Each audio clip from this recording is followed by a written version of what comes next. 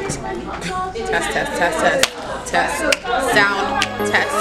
Hey everybody, it's here with the Red Eye Media Group. We're at the Build Your Own Brand live in downtown Atlanta. Hi, uh, I'm Ron Busby. I'm one of the co-founders of Buy Black. It is a platform to find and share black businesses regardless of their scale, size, type. Uh, and one of the best perks of my job is actually getting a chance to hear the stories. Could have been on South Beach, but we chose to be right here. I already met a handful of creative people, and one thing I wanted to say, I just said it on my personal vlog that I was recording. Um, I think it definitely makes a difference when you're around like-minded people, people who are doing the same things you're doing, even if it's different brands, different nations. I mean, there's millions and billions of ideas out there, but it's still a group of people that are creating an entrepreneur and they understand the trial and tribulation. It's very different when you're in an environment with people that just don't. music to populate what near the fragrance. I want a full sensory like immersion into what it means to be unforgivable. I wanted to be provocative. And we just weren't getting it. So one day, and at this point I was still Sean's executive assistant, so this wasn't really in my role. I just was listening into the call. It wasn't my job to do this. And when he left, I stayed a whole night and go to sleep because I came from marketing and just redid the plan from scratch. So first thing he wakes up, whatever it was, 8:30, 9 a.m., I'm like, I, I took a step.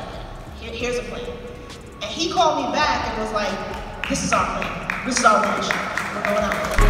You know, so I would say one thing I really took away being here for like the last four hours is that environment is super key for being successful and also just kind of keeping your spirits high, you know, because it's an aspect of entrepreneur work that requires being in a good mood, you know, and figuring out these people is kind of like how can you not be hyped for your ideas and for others, you know? So that's a little piece that I didn't want to forget, so I wanted to record it. it's not worth it. So it's super important to take a look at yourself and figure out what your worth is so that when you take the job or it's time for the opportunity, you can say, ah, I need a little more than that. Or, you know, maybe this is not right for me right now, but that's really important to know. Um, and just to, I want to lead into uh, talking about some failures. So it's kind of switching the tone a little bit, but I uh, just want to hear about some of your failures and how you bounce back from that to get you to where you are today. Because everybody wants to talk about the glamorous and, oh, I, got here and I do this, but like, what were some of the steps that got you to where you are today? else. So my most challenging time in life was when I was getting into, college. I just knew exactly where I was going. I was going to USC, University of Southern California. I'm from Cali. I did everything I was supposed to do. I had to. I went to a very competitive high school to begin with. Like I was smart, but these people was like geniuses. I was building rocket launching systems in the ninth grade and computer programming and all that. So like I just had everything figured out. I became class president. I started a club. I raised most of the money for prom. My grades was up to par where they should have been compared to anybody else outside the school. You know, SATs was right. I even did interview, personal interviews because I knew that would set me apart from everything else.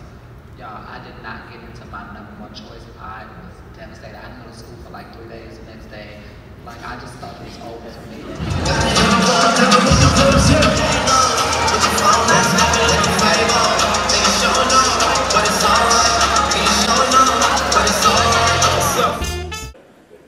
It's where entrepreneurs, like so many of you, get an idea and you build a team and you work to turn it into reality.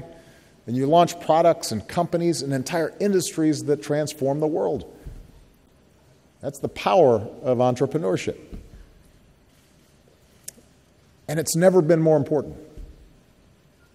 In today's world, where our economies have undergone dramatic shifts, where businesses don't stop at borders, where technology and automation have transformed virtually every industry and changed how people organize and work, entrepreneurship remains the engine of growth. That ability to turn an idea into a reality, a new venture, a small business that creates good paying jobs,